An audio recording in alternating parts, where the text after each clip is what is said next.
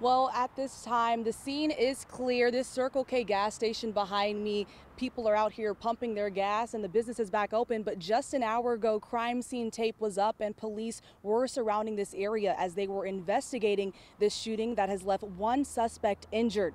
According to the Jacksonville Sheriff's Office, an officer noticed a vehicle matching the description of one used in robberies out of Clermont, Florida.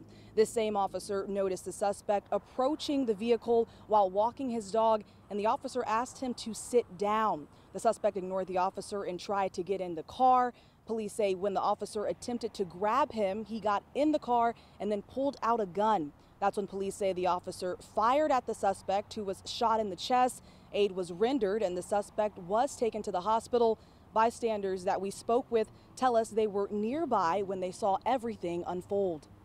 We looked to the right and we seen four cops turn into six, turn to eight, turn to 11, 12. Next thing you know, we heard a pop, pop, pop, pop, and all of a sudden we look over, squealing tires heading this way, and then we just sit there for a minute, and maybe another 10 came down Youngerman.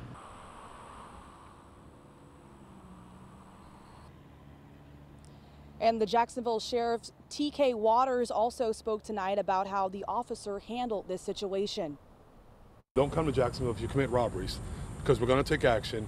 And um, we're just happy that our police officer's okay because it could have been a very, very bad situation.